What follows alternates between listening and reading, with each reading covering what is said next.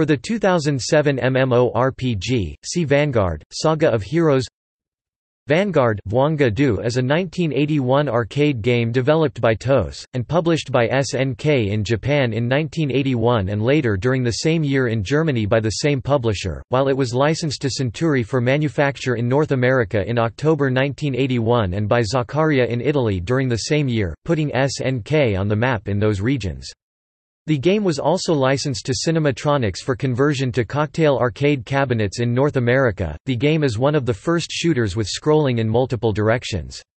It is also the first color game released by SNK and an early example of a dual-control game, similar to the later Robotron, 2084, but using four directional buttons rather than a second joystick.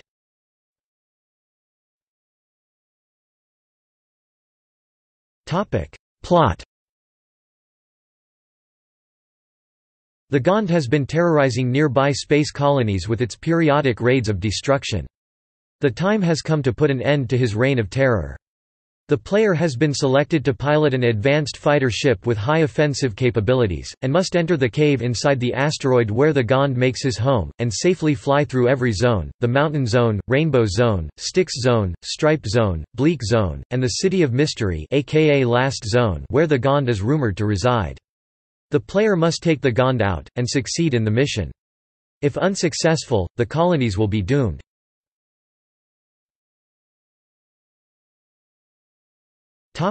Gameplay Vanguard is similar to Scramble, in that the player controls a ship urged along a surrounding conduit and with a limited amount of fuel that constantly depletes. Unlike Scramble, fuel is replenished by destroying enemies, so running out of fuel is less common. Some portions of Vanguard scroll vertically or diagonally. The ship can fire lasers independently in any of the four cardinal directions using the four buttons. Flying into an energy pod makes the ship invulnerable for a short while, allowing both enemy ships and the tunnel walls to be destroyed by ramming. The game is divided into two tunnels of multiple zones each. The first tunnel consists of Mountain Zone, Rainbow Zone, Styx Zone, Rainbow Zone 2, Stripe Zone, Rainbow Zone 3, Bleak Zone, and the City of Mystery, Last Zone. The second tunnel consists of Mountain Zone, Stripe Zone, Styx Zone, Rainbow Zone, Bleak Zone, and the City of Mystery, Last Zone. At the end of each tunnel the player must defeat a boss guarded by two moving force fields with holes in them.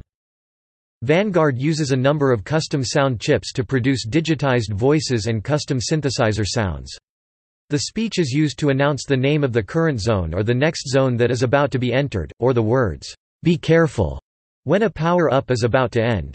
Theme music composed by Jerry Goldsmith for the 1979 sci-fi film Star Trek, the motion picture, later utilized for Star Trek, The Next Generation, is borrowed as Vanguard's introductory theme. Vultan's theme composed by Queen's Freddie Mercury from the 1980 movie Flash Gordon is used as the sound effect when a power-up is attained.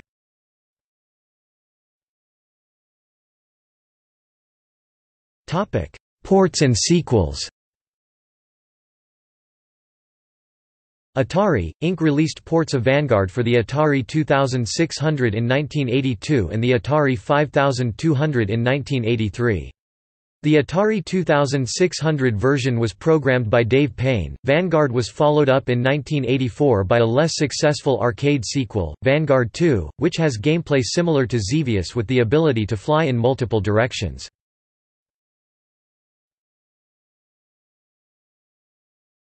Topic: Reception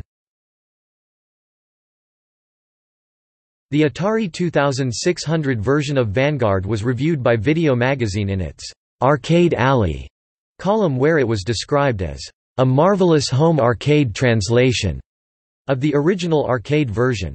Reviewers commented that in contrast to some of Atari's other less successful efforts with licensed titles, the anonymous Atari designer made elegant simplifications in the graphics that faithfully evoke the look and the same breathtaking action of the original. Note was also made of the fact that this version of Vanguard marked the first time a continued play option was offered in a game cartridge. The Atari 5200 version of the game was awarded 1984 Best Science Fiction Fantasy Video Game at the 5th annual Arkie Awards, where judges described it as a scrolling shootout extravaganza.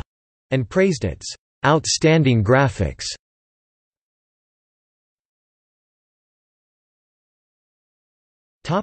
See also. Scramble. Cosmic Avenger. Super Cobra